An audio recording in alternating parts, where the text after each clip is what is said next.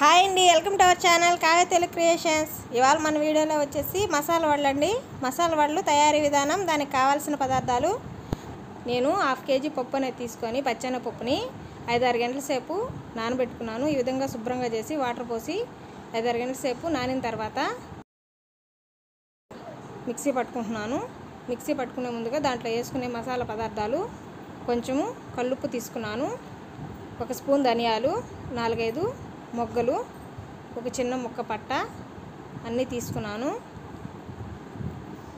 అల్లం కూడా ఒక ముక్క తీసుకున్నాను. ఈ మసాలాలన్నీ వేయడం వల్ల ఈ మసాలా వాళ్ళు అనేది చాలా టేస్టీగా ఉంటాయండి.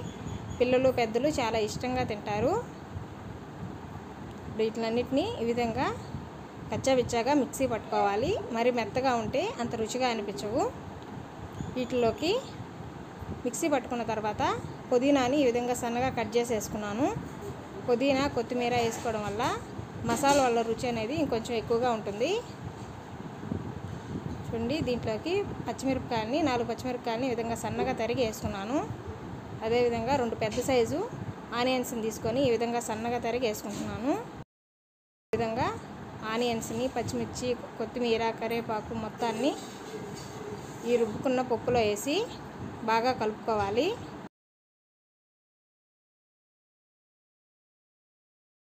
చూడండి ఈడ చూపిస్తున్నట్టుగా అన్నీ బాగా కలిసేలాగా ఈ విధంగా కలుపుకోండి.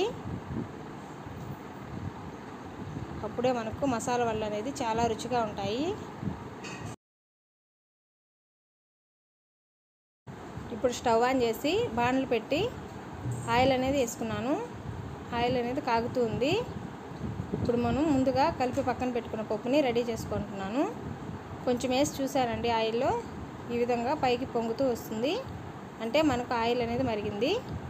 ఇప్పుడు మీడియం ఫ్లేమ్లో పెట్టుకొని మంటని ఒక్కొక్క వడిని ఈ విధంగా తట్టుకుంటూ ఆయిల్లో వేయించుకోవాలి. హై ఫ్లేమ్లో పెట్టకండి. మాడిపోతాయి వడలు అనేటివి. మీడియం ఫ్లేమ్లో పెట్టి ఉడికిస్తేనే ఈ మ ఈ వడ అనేది లోపల కూడా ఉడుకుతుంది. టేస్టీగా ఉంటుంది.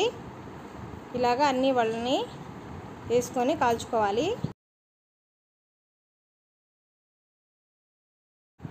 రెండు వైపులా మసాలా వడ కాలేలాగా పై తిరిగి తిప్పుకొని ఈ విధంగా రెండు వైపులా కాలేలాగా కాల్చుకోవాలి.